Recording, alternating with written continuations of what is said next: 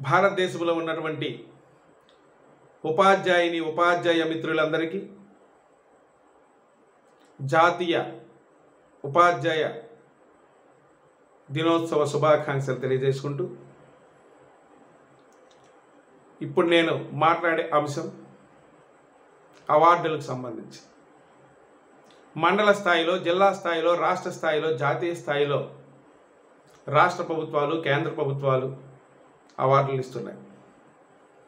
కాకపోతే ఎంపిక చేసే విధానం పైన నా యొక్క కామెంట్.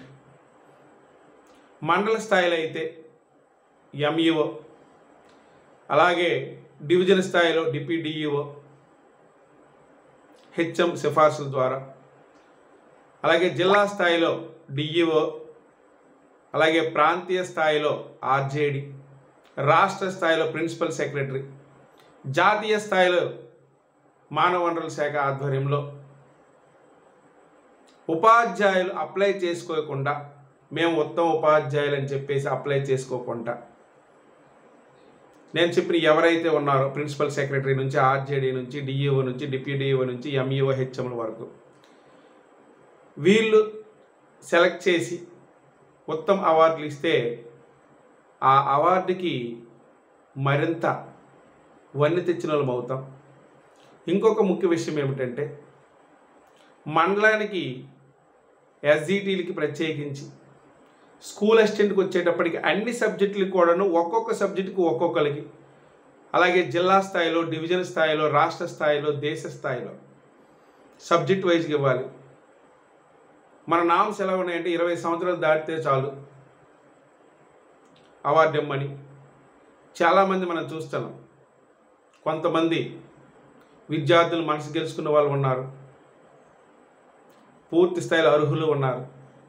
కానీ దురదృష్టశాత్తు బడి మొహం చూడని వాళ్ళు స్కూల్ మొహం పూర్తిగా అవగాహన లేని వాళ్ళు పాఠం చెప్పని వాళ్ళు కూడా కొంతమంది అవార్డులు ఇస్తుంటే కొంత బాధ అనిపిస్తుంటుంది. సాటి ఉపాధ్యాయులుగా చాలామంది ఇది కామెంట్ చేస్తూ ఉన్నారు. అలా కాకుండా కేంద్ర రాష్ట్ర ప్రభుత్వాలే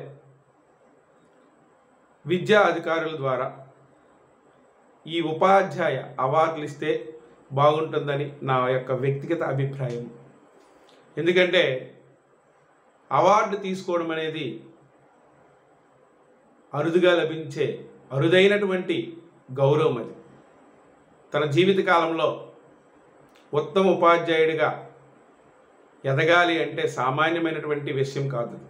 పిల్లల మనసు గెలుచుకోవాలి. పిల్లల మనసు గెలుచుకోవాలంటే సమయ పాలన పాఠ్య బోధన కృత్య బోధన నోట్స్ చెప్పడం పరీక్షలు నిర్వహించడం. నిత్యం వాళ్ళని కలుస్తూ కలిసిమెలిసి ఉంటూ కుటుంబ సభ్యుడిగా చూసుకుంటూ సొంత బిడ్డల్లా చూసే ఉపాధ్యాయులు ఎంతోమంది ఉన్నారు. అలాంటి వాళ్ళు దృష్టిలో పెట్టుకొని అవార్డులు ఇస్తే బాగుంటుందనేసి నా యొక్క వ్యక్తిగత ఆలోచన.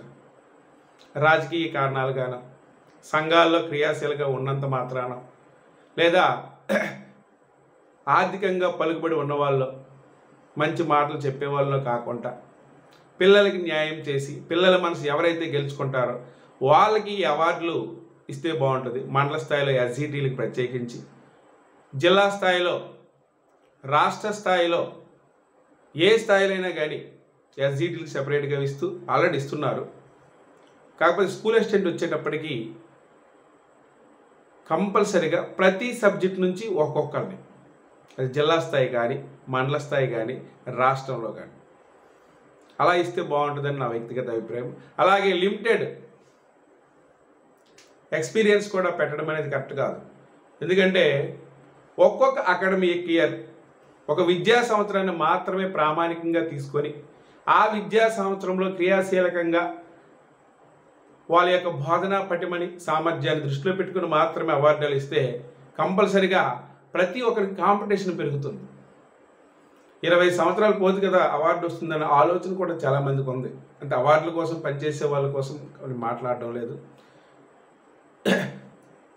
ఒక రాష్ట్ర ప్రభుత్వము కేంద్ర ప్రభుత్వం ఇచ్చే అవార్డులో మాత్రమే మనం అప్లై చేసుకోవాలి. కానీ కొన్ని ప్రత్యేకమైనటువంటి సంస్థలు వాళ్ళు ఎంపిక చేసి అవార్డులు ఇస్తున్నారు. సబ్జెక్ట్ ఫారాలకు సంబంధించి. ఆ సోషల్ స్టడీస్ కానీ ఇంగ్లీష్ కానీ మ్యాథ్స్ కానీ ఫిజిక్స్ కానీ వాళ్ళు ఎంపిక చేస్తున్నారు. ఇది ఒక కొత్త ట్రెండ్ ఈ ట్రెండే మనకు కావాలి. కాబట్టి మిత్రులందరికీ మరొకసారి జాతీయ ఉపాధ్యాయ దినోత్సవ శుభాకాంక్షలు తెలియజేసుకుంటూ ఈ అవార్డుల విషయం అయితే మాత్రం ఇది నా వ్యక్తిగత అభిప్రాయం మాత్రమే. ఇది మీకు నచ్చితే షేర్ చేయండి. లేదా కామెంట్ చేయండి. థ్యాంక్ యూ వెరీ మచ్ మీ కరీం రాజేశ్వరరావు ద లీడర్.